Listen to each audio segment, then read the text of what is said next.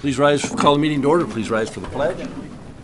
I pledge allegiance to the flag of the United States of America and to the republic for which it stands, one nation under God, indivisible, with liberty and justice for all.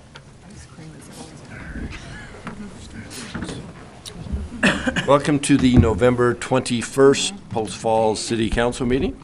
We started the meeting out with a workshop on the Water Master Plan. Now entering regular session. Uh, Shannon, please note that all council members are present. And uh, we do have a couple of announcements. Post Falls City Hall and city business offices will be closed Thursday, November 23rd, and Friday, November 24th, in observance of the Thanksgiving holiday. Winterfest 2017 is Friday, December 1st, from 6 to 8 p.m. here at City Hall. The evening will include a tree lighting ceremony, crafts for the kids, school choirs, a visit from Santa, and much more. Winterfest is a great way to kick off the holiday season with your family and community friends. The Post Falls Chamber and RCLA alumni are hosting a pajama drive on Friday, December 1st from 4 to 6 p.m. They will be accepting new pajamas and cash donations for the Post Falls Police Department's Victim Services Program. The Chamber's second annual Post Holidays Tiny Tree Festival brunch and auction is Saturday, December 2nd, from 10 a.m. until 12 p.m. For tickets, call the Post Falls Chamber at 208 773 5016. And we do have a couple presentations tonight. The first one is the State Highway 41 widening project. Oops, I've, s- I guess I did. We call all council members here. Okay, I think I missed a step. State Highway 41 widening project and upcoming open house. Lee Benardi, Idaho Transportation Department. Mr. Mayor, members of the council. Um, Yes, I'm not quite sure how to work this. I don't know if I want to turn this on. Hold on a second, let's, let's fast forward. Um, So, so for the last year or so, the Department of Transportation has been working on the reconstruction of Highway 41 from Mullan Avenue all the way up to actually Rathdrum. Um, after, you know, we're now in the, in the intermediate design stages, and uh, uh, mainly the reason I'm here tonight is I want to invite everybody to our public hearing that we're going to have next week at the transportation headquarters there on 600 West Prairie Avenue. And um, it's going to be uh, from 4 to 7. Um, very interested and encourage anybody to show up and look at what we've come up with so far, and, and we'll be taking comments. Uh, uh, officially recording the comments and trying to incorporate ideas into our concept design and um, just kind of basic. Uh, what we're looking at is the- existing two-lane configuration. We are going to reconstruct into four lanes with a multi-use 12-foot wide bike path going up the east side, full length. Um, The project will be constructed in two seasons, in 2020 and 2021. We'll try to impact traffic as little as possible. We're going to build the northbound lanes, excuse me, off to the east side of the existing highway, leaving traffic where it's at. So, um, um, other than that, we're, we'll be putting in new traffic signals. We'll be upgrading the signals at, uh, not Mullan, but at 16th Pole Line, Hope Avenue, and Prairie Avenue. And uh, my section of that stretch from Mullan Avenue is up to Rathdrum, excuse me, is from Mullan up to Rathdrum. Uh, Excuse me, I'm sorry, from Mullan up to Prairie. There's another design team that's handling from Prairie up to the rest of the way up to Rathdrum. So this hearing that we're having next week uh, will be just for that southern section from Mullan up to Prairie. What was the date again, please? Uh, November 28th, from 4 to 7, 600 West Prairie Avenue, and that's the ITD headquarters building. Okay, Encourage everybody to attend and, and comment. We'd love to get lots of comments. thank you very much. All right, well, thank you. Appreciate it. Next item is an update on the Arundel uh, Trailer Park Water Quality Update. Suzanne Scheidt Miller. Miller. Yes. Could I ask for some assistance getting my presentation loaded? I sent it to Kit.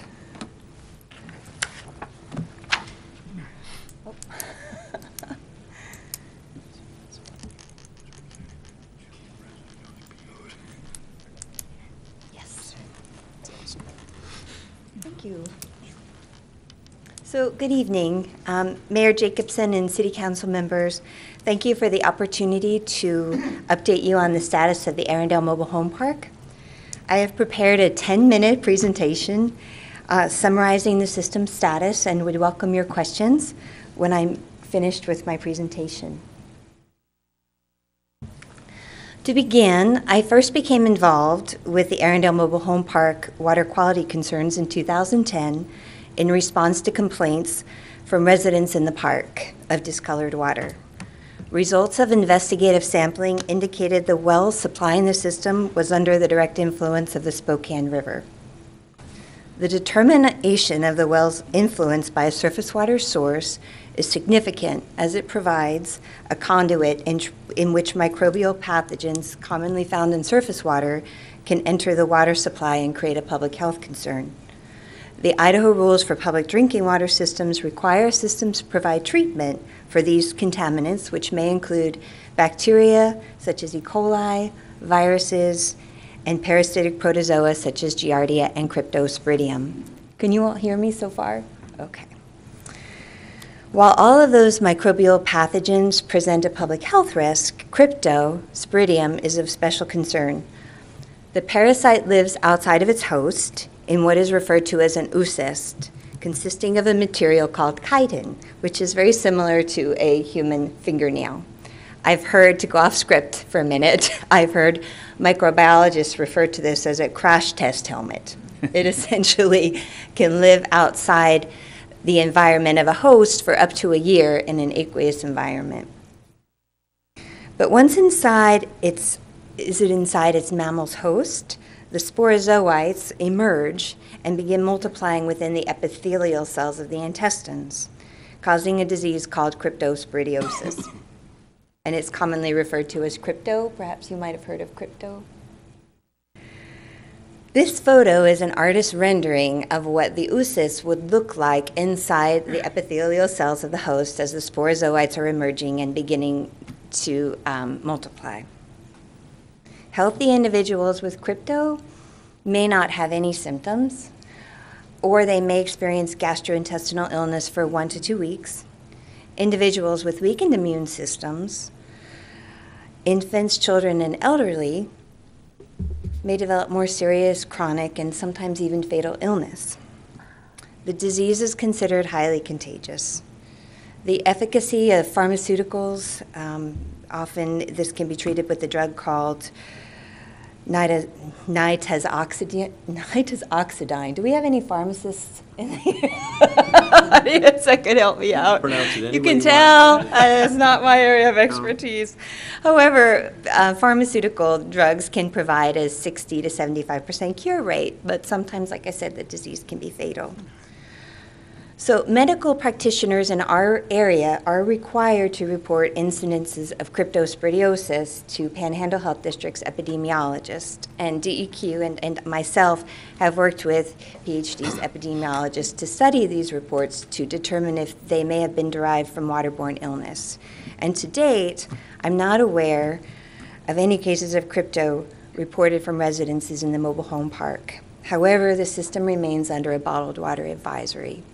But that, in a sense, is, is our primary concern with the well serving the mobile home park residents at Arundel. So, the system evaluated three options that were approved by DEQ in order to comply with the Idaho rules for public drinking water systems. The first was to discontinue use of the well and purchase water through a wholesale connection from a neighboring water purveyor. McGuire Estates, which is to the immediate west of the mobile home park, was approached, as was East Green Acres Irrigation District, which is west of McGuire Estates. Both water systems declined a request to provide water service. And I would like to take this opportunity to be very clear that DEQ does not have any regulatory authority to require a water system provide service to another system. That is, that is at the discretion of the water systems solely. The second option was to drill a well within the mobile home park, but there were two primary concerns with that. The first being that we would have a high likelihood of that well also being surface water influenced. And the most, the, the least risky spot in the mobile home park to drill the well would have required that one of the mobiles be moved and essentially dislo- dislocating someone that lived there.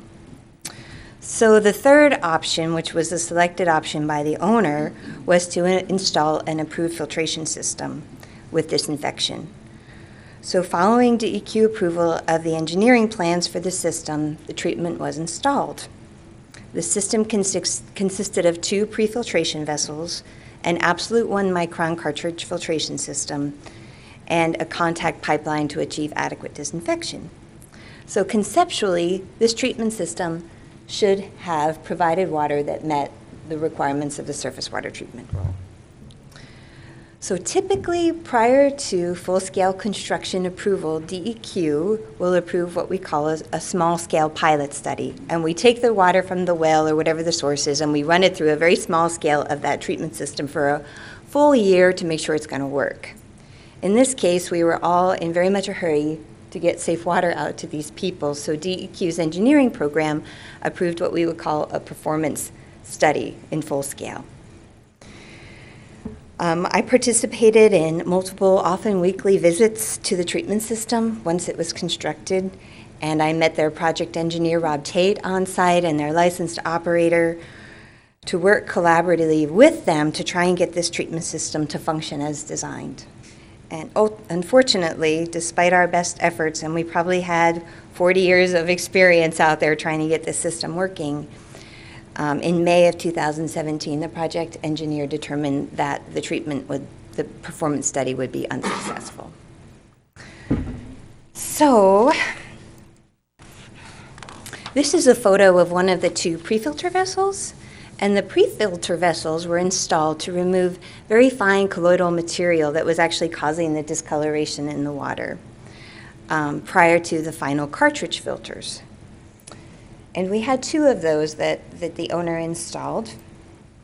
And then the, um, the manufacturer of the cartridge system, which you see here, was designed, that was designed to remove the microbial pathogens, such as the Giardia and the crypto that you saw the, the photos of. The manufacturer indicated that if we provided water coming into these cartridge filters at a level of 1 NTU, that the cartridge filters would work just fine. NTU is just a uh, acronym for a nephelometric turbidity unit, which is a very sciencey word to tell us how we measure the cloudiness of the water. So once we get below 5 NTU, we can't see that cloudiness with the naked eye any longer we did successfully achieve that 1.0 NTU going into those filters. However, the filters did not perform as designed. So we went back to the manufacturer, um, and the manufacturer said, okay, well, one's not going to do it. It needs to be 0.2 NTU, which we could not realistically achieve. The irony of this to me is that the Idaho rules for public drinking water systems would require the water coming out of those cartridge filters to be a 1.0 NTU in order to be compl- in compliance with the turbidity standards. So the manufacturer was asking for an 80% decrease in the NTU levels going into the filters than what was required of the rules. So that's where we are at right now. As far as, as compliance goes, um, DEQ also obviously we have a regulatory role. And DEQ is responsible for uh, regulating drinking water standards set forth in the Safe Drinking Water Act through the state's primacy agreement through the EPA. So currently, the mobile home park owner is operating under a consent order with the DEQ, which requires these following items be met. So quarterly public notification is distributed to water users, reminding them that they should not be drinking the water and that they should be consuming bottled water. The owner is also required to reimburse for the cost of providing the bottled water. The owner is responsible to enter into a written agreement to receive water service by February 5th, 2018, and is required to be in compliance with the rules by December 31st, 2018. And we hope it's before that. So at that point, I'd like to open it up for questions. So, the plan right now is that you'll enter into an agreement by February. Yes. You'll have basically 13 months from now to bring that into compliance. What happens if it- if they don't? There is another stipulation in the compliance or the consent order for the system purs- to pursue treatment, installation of a, a alternate form of treatment. To be honest, Mayor Jacobson, I am not aware of another form of treatment that might be functional out there, given the wide range of water quality standards we see from that well. Um, the turbidity levels can range from zero to 50 NTU, which far exceeds the other 45 surface water treatment systems that we have pulling from creeks and, and the rivers and the lakes in our area. You mentioned you- there were three possible uh, pur- water purveyors in the first option, Yes. but you didn't talk about the city of Post Falls. So if the city of Post Falls opts to provide the water, that's a cost that's going to have to be borne by somebody, is that correct? I mean, I guess I'm asking Russ that question. Please. So if, if nothing else works, now they're- if they're getting bottled drinking water at no cost to themselves, it's not convenient, but it's not costing them. But say all- everything fails and now they have to come back to the city of Post Falls to be the water purveyor. Who's nickel? Mayor Jacobson, uh, Russ Knoll, Public Services Director, members of the council. Essentially, the cost to connect to the city water system would be borne by the owners of the Arundel Trailer Park. Um, We have had meetings with them, and- and we met with them most recently on November 9th. Uh, Their engineering firm is in the process of developing a, uh, a design for that water system. We are in support of allowing a connection to the public water system. Uh, That line is on Fourth uh, Street and would carry down the Centennial Trail west to the Arundel Trailer Park. So it is up to, to their engineer to design a system that, that meets our requirements, meets local and state code requirements. Uh, They haven't completed that yet, but they are working on that, and our uh, engineering group, our engineering division, as well as uh, our, our uh, John Beecham and, and our utilities group will be in those meetings, and we'll be uh, looking forward to hopefully seeing a design that does meet standard and that, that will allow for this mobile home park and the citizens in the park to be served by water from the city uh, that meets all water quality standards and provide them some safe, safe drinking water. So that, that's our hope. That Thanks, cost would be on them to answer your questions. Okay, and probably a question for Warren. We've had several folks, or we've heard from several folks about the city providing them water, and we have to do something to make sure these folks have potable water, or drinkable water. Uh, It's not that it's, the city is not willing to do it, it's just that there's costs associated with it. And I believe what you said, Suzanne, is that there's nothing, there's no enforcement DEQ has no regulatory authority Okay. to require a water system serve another water system. Okay, so DEQ is doing what they can do, but they have some limitations. The city can provide it, but there's a cost that's going to have to be paid. Are we under any obligation, or do we run the risk of any litigation or something because we don't just provide it? There's always a risk of litigation about everything. Um, Having said, that- Silly me. having said that, the situation we're finding ourse- ourselves in right now, and Russ is correct, we've met with the owners of the trailer park. They're working with their engineering team to put together a plan that the city staff is in support of. I think we're in a position where hopefully in the not-too-distant future, we'll have an approved plan. They're funding that, that work. They'll be funding the work to install the system. So I'm hopeful that we'll reach a resolution. I spoke with the attorney for the owners today. He reiterated that that's the plan that they're working on. Good, thank you. Any other questions? Um, Dan Trend, the owner of Arundel, is here this evening, and he was hoping to present some documents to you. Is that possible? I Nothing don't think so, it's not, a- If That's not on the agenda, so um, but he could He can always give us the, the information and we can circulate it. Okay. Yeah, so that would work. Great. So. Thank you. Any other questions for me? Uh, no, and you can provide that information to Shannon, and then she'll make sure that we've got it. Okay. Thanks, great. Suzanne.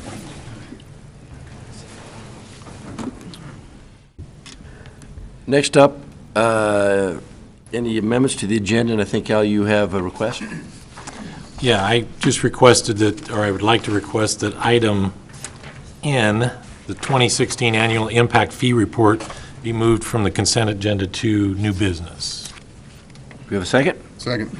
Motion second, further discussion? Shannon, please take the roll. Morrison, Aye. Wolf, Aye. Malloy, Aye. Henderson, Aye. Borders. Aye. Wilhelm, Aye. Motion passes, thank you. Uh, Are there any declarations of conflict? Seeing none, Shelley, would you present the consent calendar, please? Item A is minutes, November 7th, 2017 City Council meeting. Item B is payables, October 31st through November 13th, 2017. Item C is the public transit funding agreement with Kootenai County for CityLink. Item D is Montrose 9th Addition plat application. Item E is Viking Estates First Addition subdivision plat application. Item F is final PUD development agreement for the Prairie Falls, Idaho Street Development. Item G is change in due date to December 15th, 2017, in contract with Boise State University for recommended benchmarks for city employees per residence. Item H is acceptance of the canvassed November 2017 election results. Item I is Parks Division purchase of a 4500 Toro Groundmaster Contour rotary motor, mower. Item J is Casa Quartet subdivision plat application. Item K is T2O subdivision plat application. Item L is Whiskey Flats First Addition subdivision plat application. Item M is purchase of a play structure for Tullamore Park for Cascade Rec, from Cascade Recreation Incorporated. And item N has been moved to new business, item number B. Any questions? I'd entertain a motion. Oh, wait, I'm sorry. I do have one question. Al's got a question. Got a question. Item C, the city link.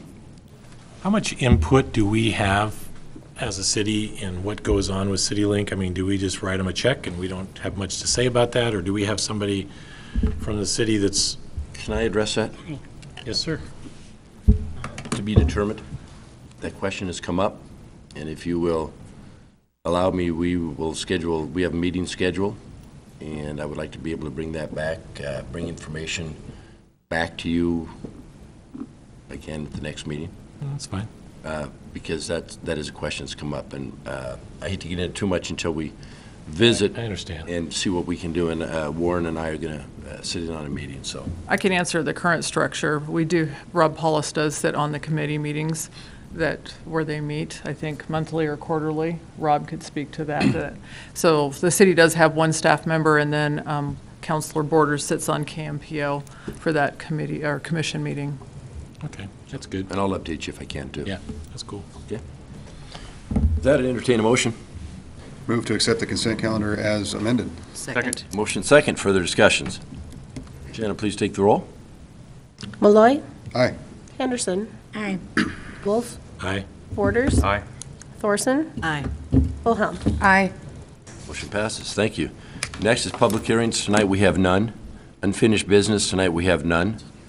Uh, Citizens' issues, this section of the agenda is reserved for citizens wishing to address the council regarding city-related issues that are not on the agenda. If anyone cares to address council, come forward, state your name, and we'll allow you five minutes' time. Chief? Evening, Mayor and Council, Warren Merritt for the record. Uh, Just a couple quick things. Uh, One is to thank the mayor for the presentation today, and then the second piece to that was the um, acknowledgement of the Post Falls police officer uh, for the work that he did with that student, and it was just a great story today. I really appreciated hearing that. And then the last item of business is we're going to do the Candy Cane Run again this year in Post Falls. It's going to be on December 6th, and uh, we'll start about 6 PM, collecting uh, toys for, food, uh, food for the food bank, dollars for Christmas for All, and Toys for Toys for Tots. So we'll be out there for a few hours. Good. Thanks very much.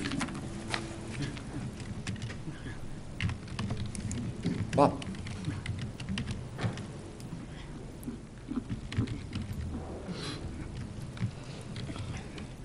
Good evening, Mr. Mayor, Council, Bob Flowers. Um, I guess I'm on more of an information hunting trip tonight. Uh, I've attended a couple of meetings in the last few weeks with our neighbor up north, the city of Rathdrum. I see a whole lot of building planned and a whole lot of uh, homes being, that are going to be built up there in the next year or two. And this kind of made me think that the city of Post Falls is still treating Rathdrum's wastewater.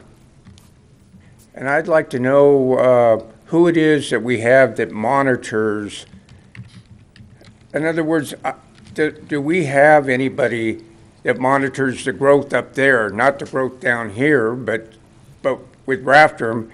And with that, do we actually annually or semi-annually actually refigure the cost that they pay us? So the citizens of Post Falls are not subsidizing Rathdrum's growth.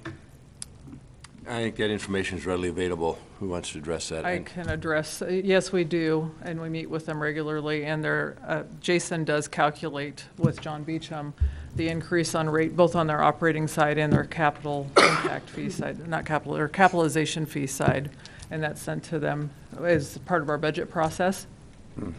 So it's, it's reviewed annually. annually. Is there any way to get a copy of those numbers from somebody at some time in the near future? Yes, um, if you come in and meet with Jason or Russ, either one can get you a copy of the figures, we can also get you a copy of the contract that we have with uh, Rathdrum. Thank you. You're That's all I welcome. ask. Thanks, Bob. Okay. Next item up is new business. First item is engineering services contract with JUB for the upgrade of the Riverside Harbor Lift Station. Mr. Arbini.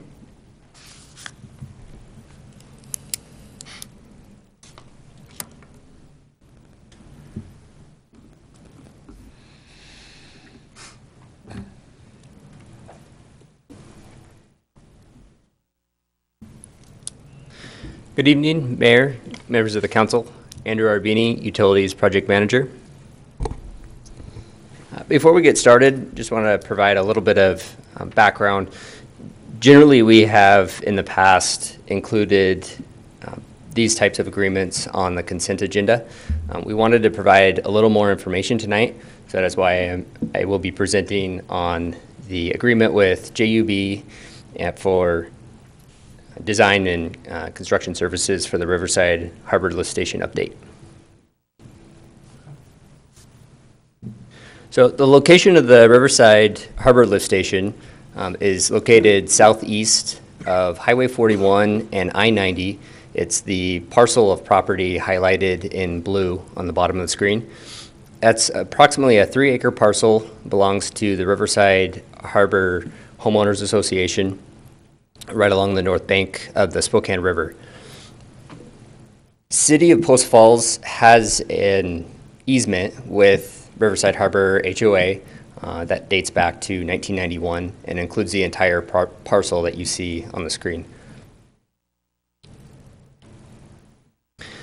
This is a more detailed view of the site.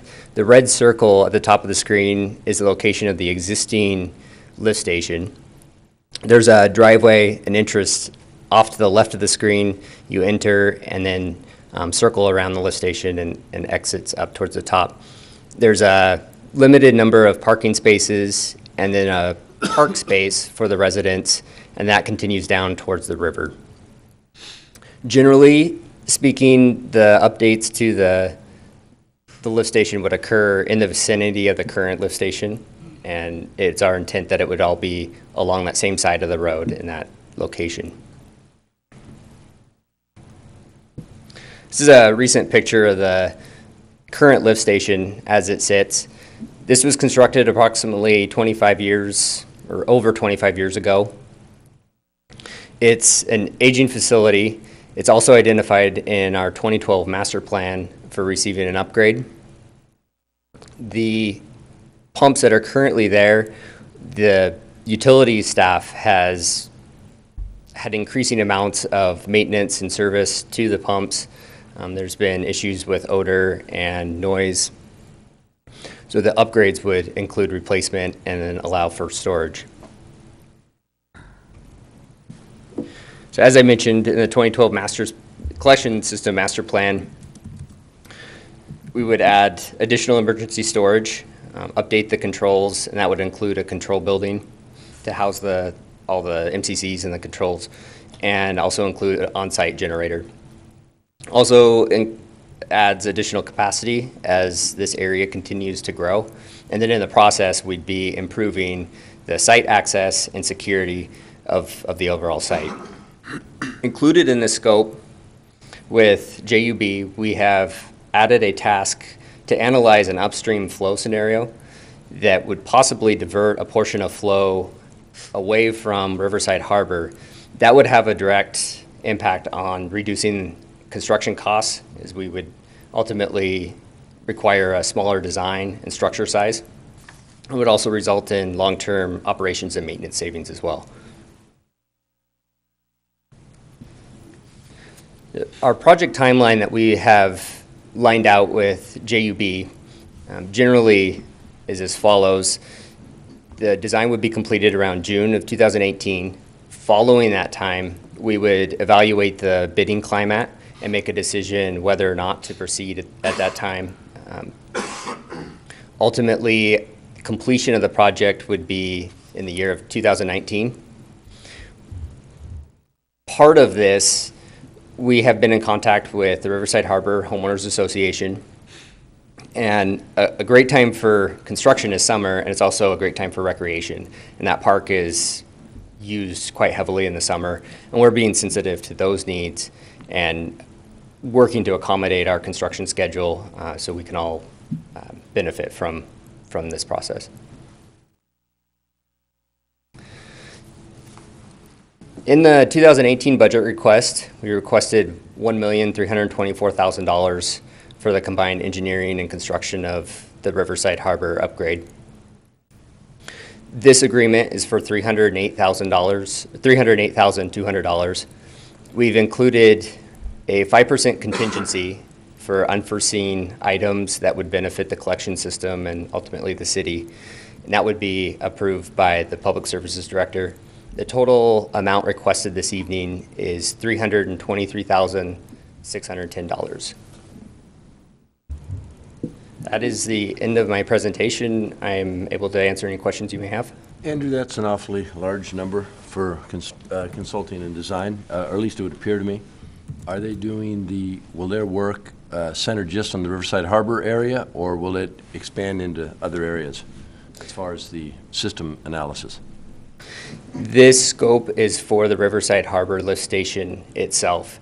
They will evaluate the, the lift station. Um, As I mentioned, that upstream analysis will, will take a look at an option of diverting flow.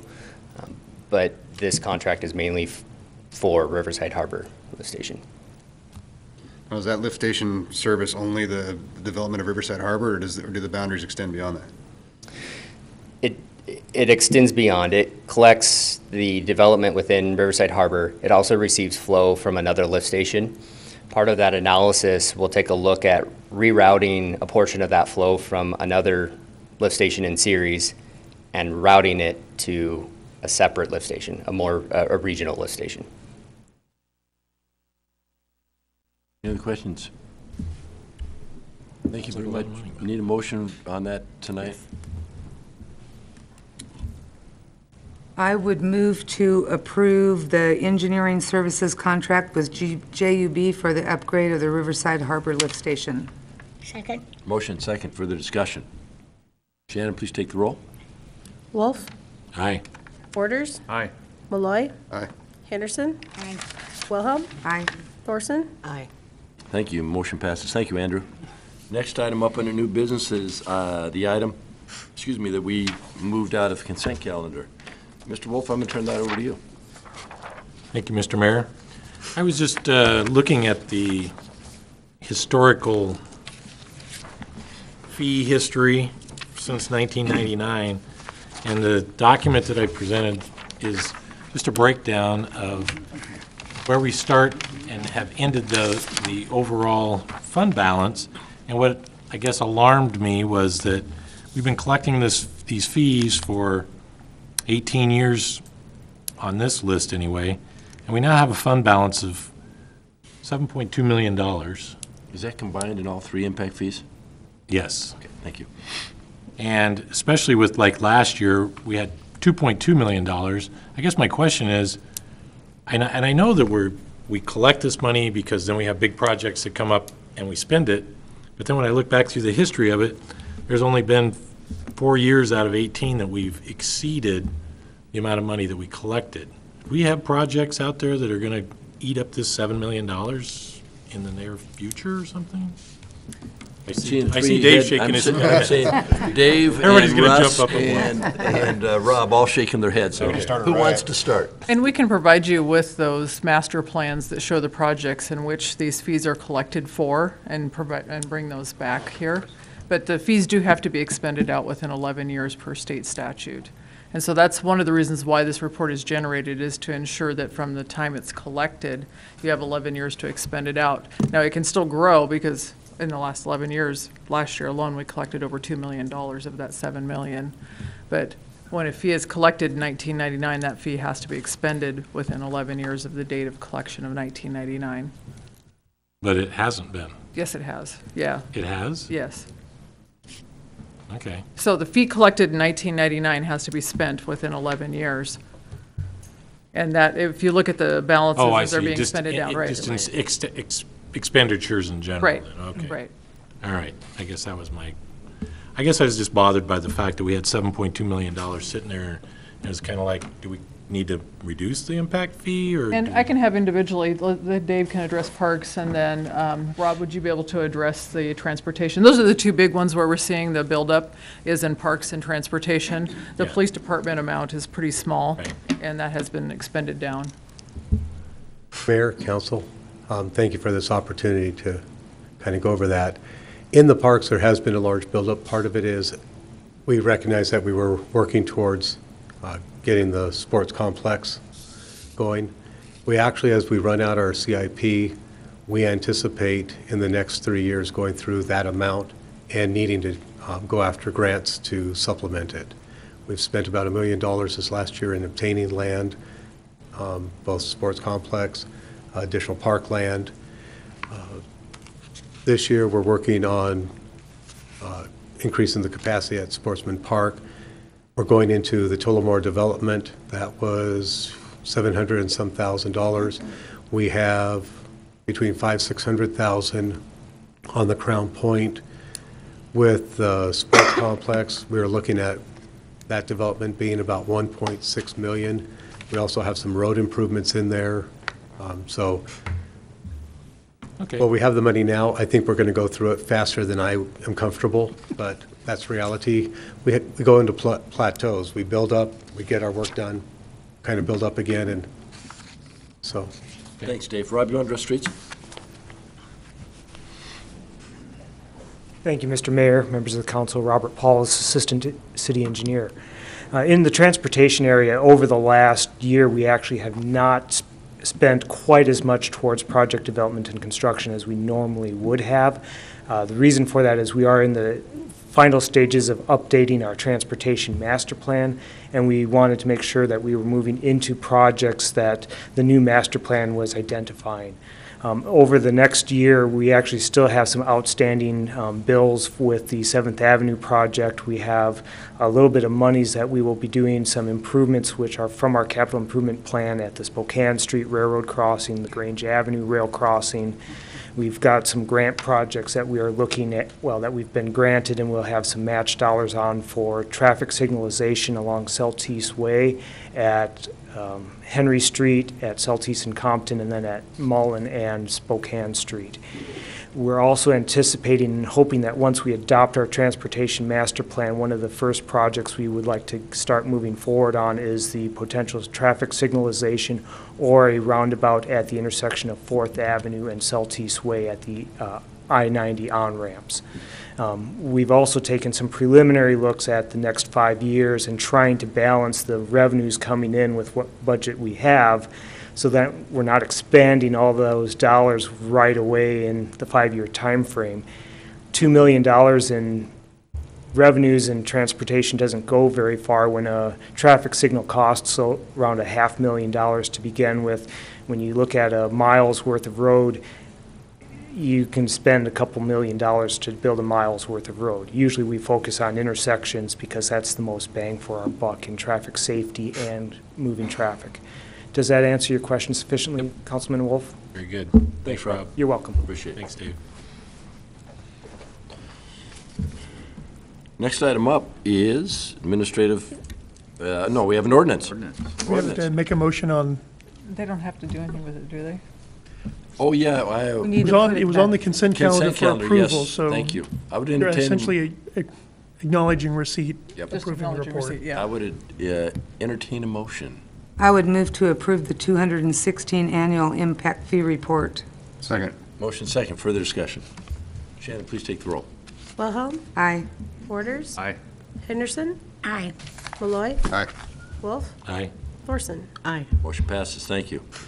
Uh, Ordinance, we do have the Runcorn Runcorn easement vacation.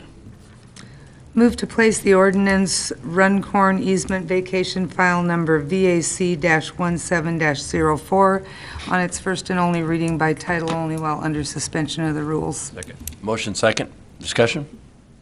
Shannon, please take the roll. Wilhelm. Aye. Thorson. Aye. Borders. Aye. Wolf. Aye. Henderson. Aye. Malloy. Aye. Motion passes. An ordinance of the City of Post Falls, a municipal corporation of Idaho, providing for the vacation of easement in the southeast quarter of Section 28, Township 51 North, Range 5 West, Boise Meridian as described herein, providing for disposition of the vacated easement, providing repeal of conflicting ordinances, providing severability, providing an effective date, and providing for other matters properly relating hereto. Move to approve the ordinance Runcorn easement vacation file number VAC-17-04 and to direct the clerk to assign the appropriate number and that it be published by summary only. Second. Motion second, discussion? Shannon, please take the roll. Borders. Aye. Wolf. Aye. Henderson. Aye. Thorson. Aye. Wilhelm. Aye. Malloy. Aye. Motion passes, thank you. Now administrative staff reports, and the discussion is, do we hold a second meeting in December on December 19th? Do we need it? We checked with, uh, or I should say Shannon checked with um, the community development, and there's nothing coming forward out of P and Z Commission for that particular date. So there's nothing pressing? No. Council? Move to cancel the December 19th council meeting. Second. Motion second, further discussion? Please take the roll. Thorson. Aye. Wolf. Aye. Malloy. Aye. Henderson. Aye. Borders. Aye. Wilhelm. Aye. Motion passes, and if something were to come up, we could always hold a special meeting. We can, With yes. Proper notification, so. Uh, Thank you. Next up, uh, Mayor comments. I have a question, Chief and Chief. Uh, Holidays for Heroes, going to kick off? I mean, we're, we're fast approaching December. What kind of time frame are we looking at kickoff?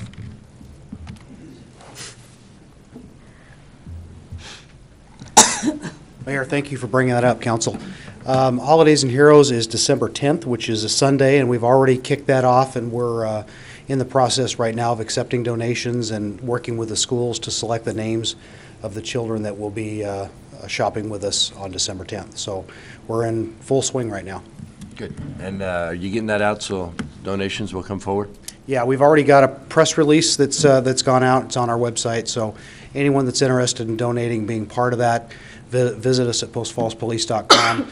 We've also had uh, a couple of occasions where we've had staff on Channel 6 and Channel 2 News in the morning announcing that program, and it's uh, been very successful. Good. Thank you very much. Council comments? I got nothing. Happy Thanksgiving. Yeah. Perfect. Um, We do not need an executive session? Nope. So the next meeting, the next motion is? All those in favor? Aye. Aye. Meeting adjourned. Thank you very much, and have a happy Thanksgiving. So.